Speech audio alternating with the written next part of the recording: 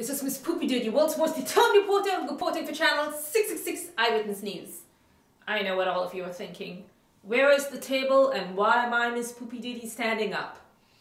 Well, I just wanted to say that here I am at home. And you know what happens when you're home? You're saving lives. Just think about it. One, two, three, four, five.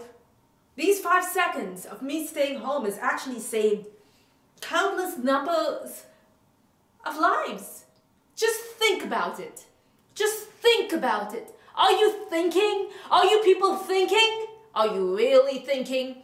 And remember now, in this age, in today's uh, age, in New York's epicenter, you know, if you see your neighbor who is standing six inches away from you and not six feet apart, take a picture of them, send it to the police, send it to the special hotline the mayor has set up, and write, My neighbor did not social distance, so I hope the police come and get you.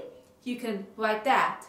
Or go to your mom and pop shops. I know there are not that many around. There are not that many around. There's very, very few of those. But the few that are out there, you know, those small little shops and walk around and look around and then make your observations and then you may notice the, uh, the line.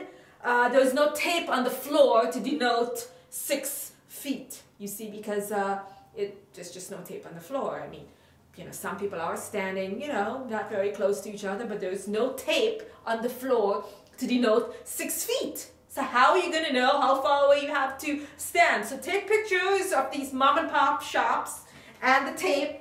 Take a picture of mom and pop and then text those pictures to this new uh, hotline that the mayor has set up. So the police can come down and lock this mom and pop shop down. I mean, isn't that great? Don't you feel good doing your civic duty as a citizen, as a member of the society? Don't you feel good?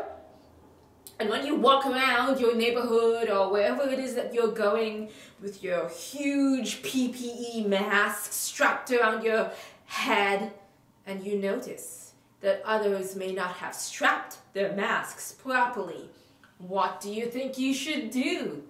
You should point at them. Point at them.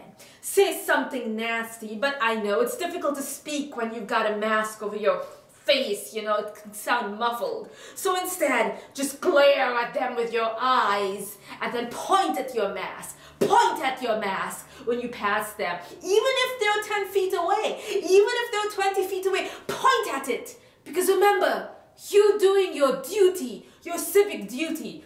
So in fact, wear your mask, walk down all these streets and get your fingers ready and point. Point to all these people because you have to tell them.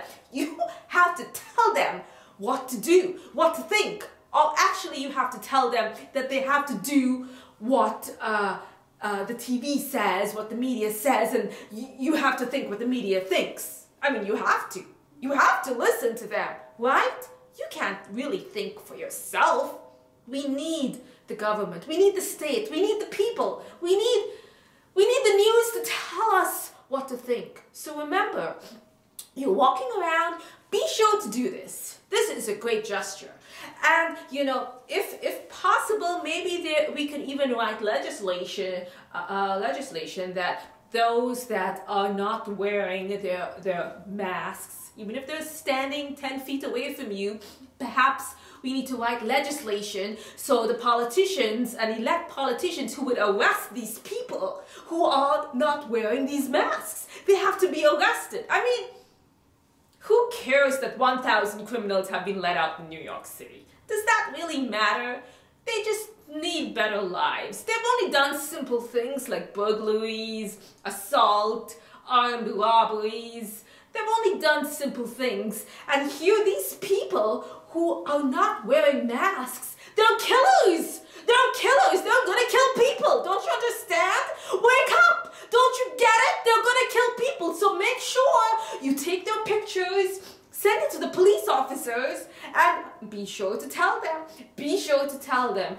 In fact, we could even introduce new legislation to write laws that if you have a mask and you are walking down the street and uh, you have the right to carry a stick with you that's six feet long.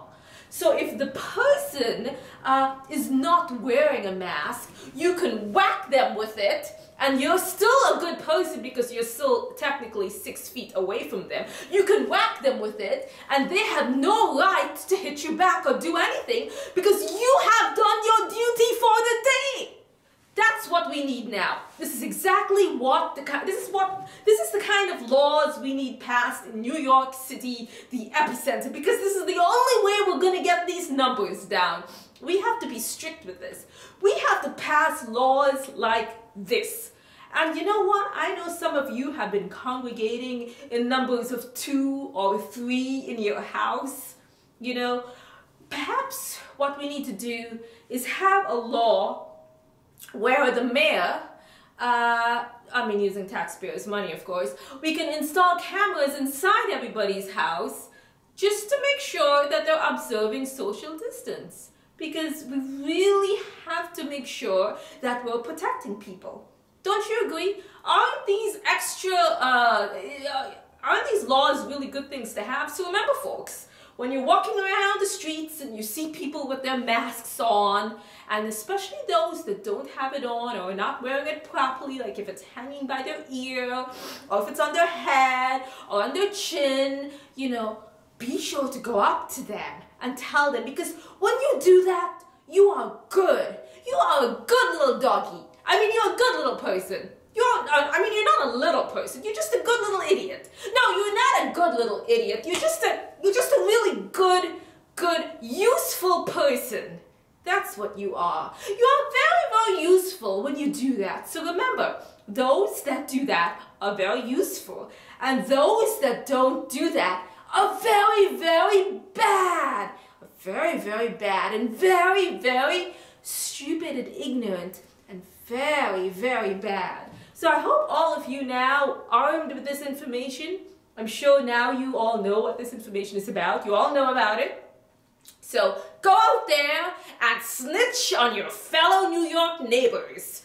Forget about watching somebody burglarize your neighbor's home because it doesn't really matter now. You know, if you see somebody jumping over your neighbor's fence, uh, messing up the place, you call the police, they're, they're overwhelmed. They're not going to come and do anything because these crimes are not considered that violent. So don't bother call the police for crimes. Oh, it's not even a crime if a burglar why am I calling this person a burglar? I'm sorry, this poor unfortunate person who's on your property in your house, maybe hungry and just have to take food from your fridge or take the valuables that are in your house. It's just only because they need it. They're not bad people. So don't call the police when you see that happening to your neighbors. Call the police when you see neighbor number one talking to neighbor number two and they're only three feet apart. All right, folks, remember, be good and do what everyone says and does. Once again, this is Miss Poopee Doodee Walton, the Tony Reporter, reporting for Channel 666 Eyewitness News.